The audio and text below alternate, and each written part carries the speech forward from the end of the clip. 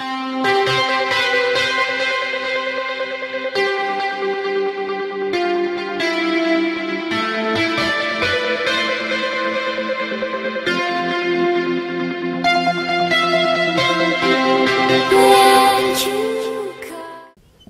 compagnia del preparatore dei portieri dell'Empoli Football Club Mauro Marchisio, ormai da una vita qua ad Empoli, quindi inutile anche fare presentazioni del caso. Io Mauro mh, vorrei intanto fare un piccolissimo bilancio per quel che si può di questo inizio eh, di ritiro 2013-14 per poi arrivare insomma, a capire alcune cose più specifiche anche del tuo lavoro. Ma dico che, direi che l'inizio è sicuramente positivo perché tutti i ragazzi e soprattutto i portieri con i quali lavoro sono arrivati in condizioni fisiche splendide e sinceramente non me l'aspettavo. Sono eh, positivamente impressionato da questa loro, da questa loro performance. Diciamo. Senti, allora, mh, mm, arrivi a mh, mm, questa stagione con praticamente gli stessi portieri dello scorso anno, si aggiunge Francesco Pacini parto da lui, io ci ho parlato qualche giorno fa per un'intervista particolare, visto che ho conseguito da poco il diploma scolastico mi sembra un ragazzo molto sveglio. Sì, un ragazzo sveglio, delle volte anche troppo, difatti un estroverso, un ragazzo molto diciamo di compagnia, un giocherellone. Sto cercando di tenerlo un po' a freno perché l'età è quella che è, capito? Delle volte gli dice le cose, non, eh, non le afferra subito perché è ancora un ragazzino, però ha delle grandissime qualità che spero di mettere poi, eh, di migliorarle per un futuro sicuramente positivo per lui. Ecco, quanto eh, ti agevola avere gli stessi elementi da, da allenare, quindi eh, riprendendo praticamente un filo logico lasciato interrotto lo scorso giugno? Ma io con, eh, con Davide, con eh, Alberto, con eh, Renato e adesso con Pacini, eh, non, no, diciamo che loro sanno perfettamente quello che voglio da loro, difatti sono alcune cose che non c'è nemmeno bisogno di dirgliele, per esempio quando si inizia il riscaldamento loro sanno già cosa devono fare, si preparano e io devo dire che sono in questi primi 3-4 giorni di lavoro sono rimasto favorevolmente impressionato dalla professionalità e dall'impegno che mettono questi ragazzi nel fare le cose. Senti, faccio un eh, piccolo excursus allo scorso, allo scorso anno dove si è verificata una situazione strana, no?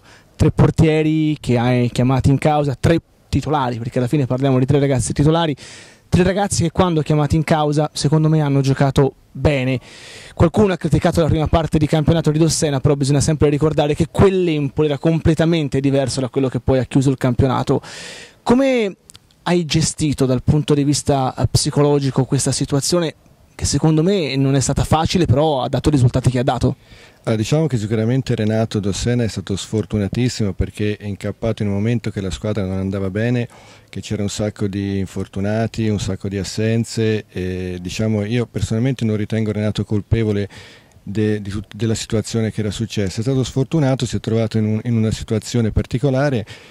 Abbiamo provato a un certo punto a cambiare anche il portiere perché a quel punto lì l'abbiamo provato di tutte è iniziata la nostra escalation che, che, ci ha portato poi a fare quello che abbiamo fatto, però io devo dire che dal punto di vista professionale, dal punto di vista tecnico di Renato sono contentissimo, perché poi nonostante sia stato messo diciamo tra virgolette tra parte, si è comportato sempre bene, ha fatto il professionista, quando c'è stato bisogno di lui è entrato in campo, se non vi ricordate il miracolo che ci ha fatto nella partita col Padova, se non sbaglio quindi devo dire che sono contentissimo, come di lui anche di, di, di, Alberto Pelagotti che si è messo a disposizione nonostante pensasse toccasse a lui giocare, invece è rientrato Davide, quindi anche lui si è comportato professionista, quando è stato da giocare tipo Reggio e altre partite ha fatto quello che doveva fare, quindi devo dire che i portieri quest'anno mi hanno dato delle grandissime soddisfazioni. Bravi loro anche ad interpretare la situazione che si era venuta a creare. Bravi, professionisti, ragazzi seri che hanno sfruttato quello che era l'ambiente nostro di quest'anno dove c'era un clima veramente particolare, dove tutti seguivano quello che diceva l'allenatore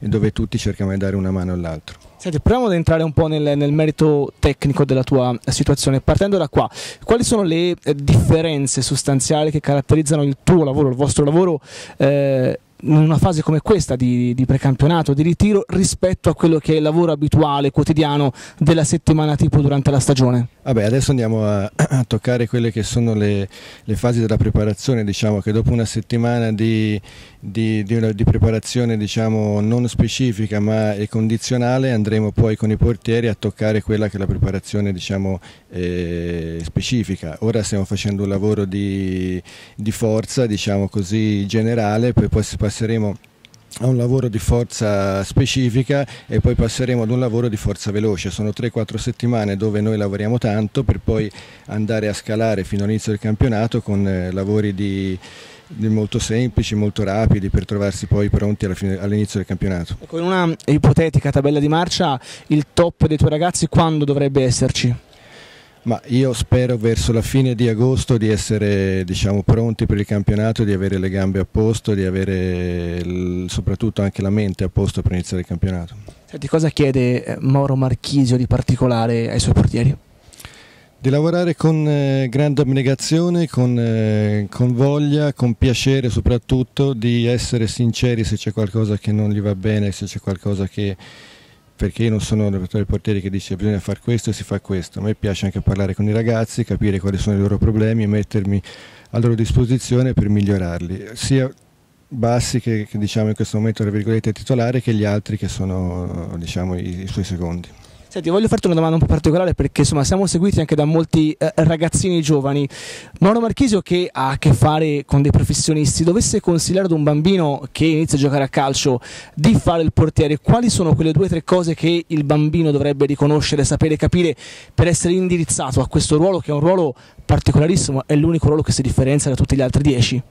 Allora io devo dire una cosa, che ai tempi di quando giocavo io, di quando c'erano anche altri portieri, io ho notato una sostanziale differenza, che una volta in porta ci andava quello che si sentiva di fare il portiere, fosse stato alto 1,70, fosse stato alto 1,90. Adesso tante volte prendono un ragazzino che ha 12 anni, alto 1,85, lo prendono, lo mettono in porta e magari lui non ha quelle qualità innate per fare il portiere, capito? E io dico questo, se un ragazzino a 10, 12, 13 anni si sente la voglia di fare il portiere che faccia il portiere. Se poi uno non è alto 1,90 magari non, non andrà a giocare in Serie A, però magari giocherà in C2, però avrà fatto quello che gli piace, avrà, avrà, fatto il ruolo che si sente di fare, capito? Questo lo trovo come differenza tra quando giocavo io adesso. Adesso se non sei 1,90 non ti prende in considerazione nessuno. Senti Mauro, eh, chi viene magari più sporadicamente a vedere gli allenamenti eh, vede te e i ragazzi che vi mettete da una parte a lavorare rispetto al resto della squadra. Eh, quando finisce il lavoro soggettivo ed inizia quello di interazione con Mister Sarri e il resto dello staff? Ma diciamo che allora noi facciamo un, un, lavoro specifico per il portiere quindi abbiamo bisogno dei nostri spazi, della nostra porta, del nostro, del nostro, del nostro angolo per lavorare. Poi quando si tratta di fare i lavori tattici, allora ecco che i portieri vanno con, eh, con il mister, però la fortuna di averne tre e ora quando rientrerà Renato anche quattro e quindi il lavoro si svolge bene perché due lavorano con l'allenatore e due lavorano con me quindi non c'è nessun problema da quel punto di vista lì. Senti, una delle cose eh, più importanti che mi ha detto Maurizio Sarri quando ci ho parlato prima dell'inizio del campionato mi ha detto io riparto da Empoli anche perché riparto con un gruppo di lavoro importante, si è sempre decantato Mauro il gruppo di giocatori no? che è stata la forza e non plus ultra di questa, di questa, dell'annata scorsa di questa squadra, però mi sembra che anche tra di voi ci sia veramente una grande coesione, c'è un rispetto maniacale dei ruoli e c'è comunque la fiducia l'uno nell'altro. No, devo dire che noi, io ormai sono qui a Empoli in prima squadra da 16 anni, dopo un anno al settore giovanile moltissimi anni fa e ho cercato sempre di mettermi a disposizione dell'allenatore perché io faccio parte della società ma in quel momento io sono un collaboratore dell'allenatore e cerco di fare, se faccio il bene dell'allenatore di conseguenza faccio anche il bene dell'Empoli e quindi ci mettiamo sempre io, tra virgolette Claudio anche che siamo gli unici due che siamo qui da tantissimi anni a disposizione dell'allenatore, quindi cerchiamo di fare quello che riteniamo giusto e agevolando quello che è il, il lavoro dell'allenatore. Senti, questo lo chiederò poi anche ai tuoi colleghi, mi dici un pregio, un difetto di Maurizio? Allora, il difetto fuma troppo. no, fate gli scherzi.